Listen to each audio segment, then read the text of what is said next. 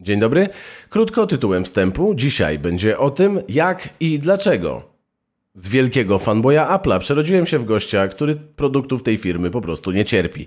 Dzień dobry, czołówka.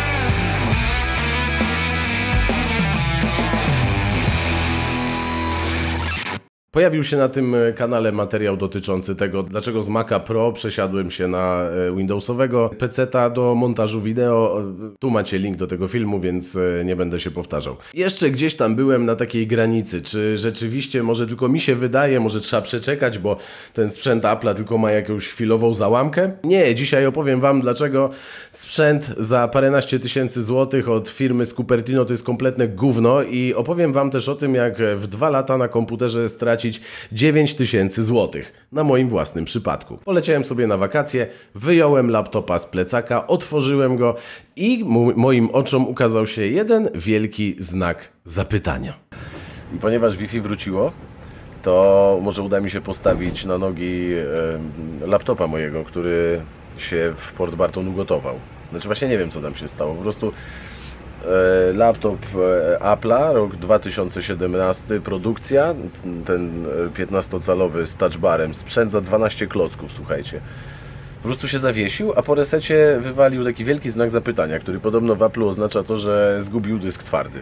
I teraz nie wiem, czy ten dysk twardy on zgubił fizycznie, bo jeżeli tak to przejmane, bo trzeba wymienić całą płytę główną, E, a jeżeli zgubił tylko adresy plików, to znaczy, że da się go jeszcze uratować, tylko trzeba go sformatować. Ale żeby to zrobić, to muszę ściągnąć system na zewnętrzny dysk, zainstalować go na zewnętrznym dysku, odpalić laptopa z tego zewnętrznego dysku po USB-C i dopiero potem spróbować sformatować ten wewnętrzny dysk, mając w ogóle jakiś system operacyjny. Akurat dzisiaj był na to dobry dzień, bo padał deszcz, także Zobaczymy. Teraz się ściąga e, OS Sierra, w ogóle nie wiem, 5 edycji OS-a do tyłu i zobaczymy jak to z tym pójdzie. Czy to ruszy ten system, czy nie ruszy. Kto będzie Cię słuchał w kąpie? Ja bym nie słuchała. Ty mnie w ogóle nie słuchasz. Cię słucham. Jako żona moja w ogóle mnie nie słuchasz. Słucham Cię. Ty mnie nie słuchasz. Zobaczysz, że połowa widzów wyłączy Twój odcinek, jeżeli zaczniesz mówić o kąpie. Dobra, to ci, którzy nie wyłączyli, niech zostawią komentarz, że dotrwali do tego momentu. A? A? Może być? Uczciwie? Uczciwie. Idziemy jeść. Używając tego super powolnego filipińskiego internetu, doszedłem e, do tego, że prawdopodobnie padł w tym komputerze dysk twardy. Co jest dosyć e, dla mnie dziwne w komputerze, który ma dwa lata, żeby padał dysk twardy, ale okej, okay, rzeczy się psują, to się może zawsze zdarzyć. Chociaż w życiu nie zepsuł mi się komputer po tak krótkim czasie, ale okej, okay, zwłaszcza komputer za 11900. Jakby nie było. Wymyśliłem, że skoro tak, no to zainstaluję system operacyjny na dysku zewnętrznym i coś tam jeszcze będę mógł zrobić. Nie dało się tego przeprowadzić, dlatego że sterowniki do touchbara, tego w e, MacBooku Pro e, z touchbarem, te sterowniki do tego są gdzieś tam wgrane na sztywno na płytę główną i przez to nie da się zainstalować systemu operacyjnego na dysku zewnętrznym i w ten sposób pracować. W związku z tym zostałem bez komputera. Po powrocie do Polski wymyśliłem, Jedyny słuszny plan, trzeba zabrać ten komputer do serwisu. I w serwisie dowiedziałem się, że tak. Laptopy firmy Apple, e, takie jak miałem, są złożone z trzech elementów. Pierwszy element to jest tak zwany top case, czyli tam, gdzie jest e, klawiatura. E, drugi element to jest płyta główna ze wszystkim, co jest na nią wlutowane, o tym za chwilę. No i jest jeszcze matryca, czyli to, co nam wyświetla obraz. Tak? To są trzy elementy, e, które składają się na komputer za tyle właśnie pieniędzy. I teraz o co chodzi z tą płytą główną? Otóż żeby to wszystko y, było na pewno nie do naprawienia, to wymyślili sobie w Apple'u, że wlutują większość tych elementów na sztywno. W związku z czym, jeżeli w tym laptopie nowym, też w tych laptopach, które możecie kupić dzisiaj na stronie Apple'a, jeżeli padnie Wam dysk twardy, albo jeżeli padnie Wam płyta główna, albo jeżeli padnie Wam RAM, to musicie wymienić całą płytę główną. I teraz, jeżeli któryś z tych elementów się zepsuje i wymyślicie, że wy sobie sami to wymienicie, guzik nie wymienicie, dlatego że Serwis Apple'a działa tak, autoryzowany przynajmniej, że oni wyciągają płytę główną z waszego komputera, wysyłają ją do serwisu i dostają zwrotną pocztą czy też kurierem, dostają odpowiednią e, płytę główną pasującą do waszego komputera na miejsce tamtej, czyli jest zamiana jeden do jednego, więc nie można pójść i sobie po prostu kupić płyty głównej, trzeba oddać swoją starą zepsutą. No i teraz, e, żeby naprawić dysk twardy, RAM, albo żeby naprawić e, kartę graficzną, to trzeba wymienić po prostu wszystko.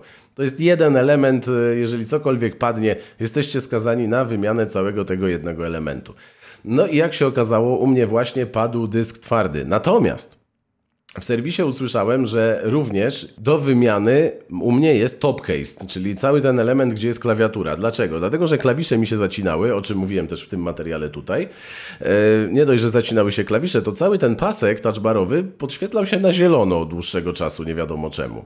No i Czary Goryczy dopełnił oczywiście ten e, znak zapytania, który mi się wyświetlał zamiast ładującego się systemu. Okazało się, że po prostu e, top case jest do wymiany, do wymiany jest też dysk twardy. Łączny koszt naprawy 5700 zł. Dwuletni laptop za 11,5 koła. Używany zgodnie z przeznaczeniem, bo przypominam, wydziady z firmy Apple, że daliście Pro w nazwie. To Pro w tej nazwie, moim zdaniem, oznacza, że jest to laptop do zastosowań profesjonalnych, czyli do montażu wideo profesjonalnego, a on właśnie przy takim użytkowaniu po prostu się zepsuł. Co się okazało? Ta płyta główna jest tak źle, ta obudowa jest tak źle zrobiona, że ona odprowadza ciepło w sposób niedopuszczalnie zły, to się strasznie grzeje i dlatego to się psuje. A skąd to wiem? Aha, bo zadzwonił do mnie pan z serwisu, do, w którym autoryzowanego serwisu, w którym zostawiłem laptopa i powiedział mi tak. Proszę pana, a pan mi powie, do czego pan tego komputera używa? Ja mu mówię, no do montażu wideo. On mówi, hmm, wie pan co, tak szczerze mówiąc, to ja bardzo chętnie wezmę od pana te 5700 za naprawę, natomiast generalnie nie polecam panu, żeby pan ten komputer naprawiał, bo prawdopodobnie w najbliższym czasie on się zepsuje dokładnie w taki sam sposób. Dlatego, że te płyty główne, które oni dostają na podmianę, to one są tak samo zrobione jak te, które były wkładane fabrycznie i one się dokładnie tak samo za chwilę mogą zepsuć. I mówi mi to facet z autoryzowanego serwisu. Ten człowiek, ten sam człowiek powiedział mi, że ten nowy 16-calowy komputer, ten laptop taki, na stronie Apple możecie go znaleźć, kosztuje 12 tysięcy złotych.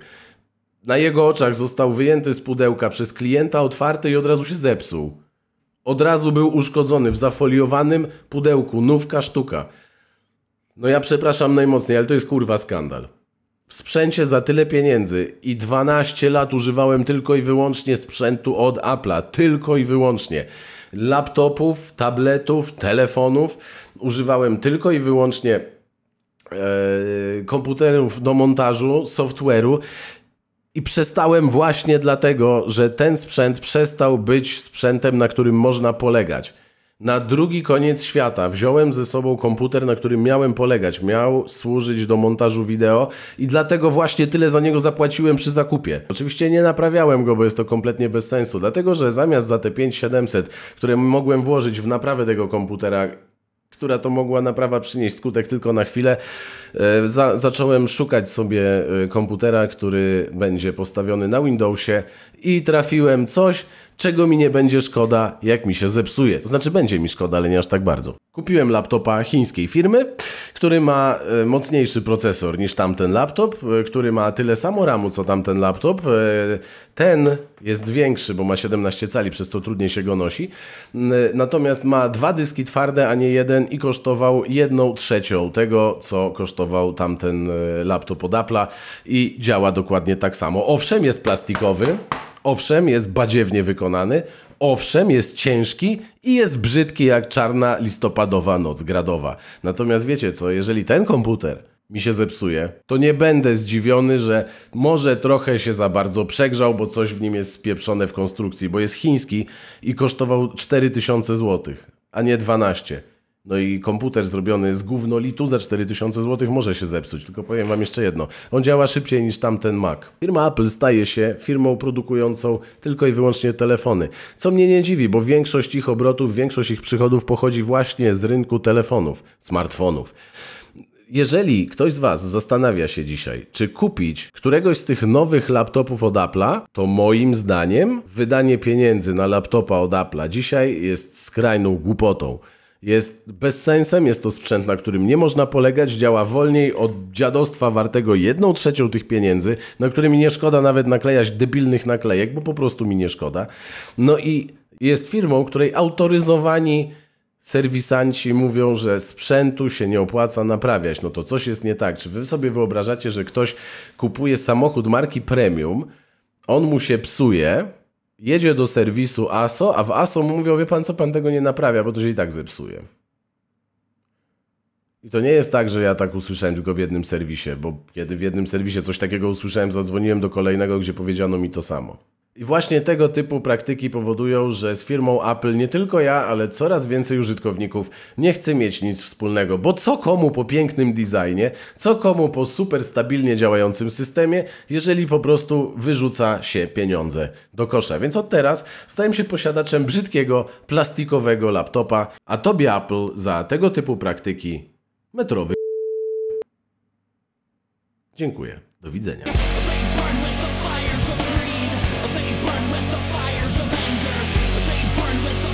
of ignorance.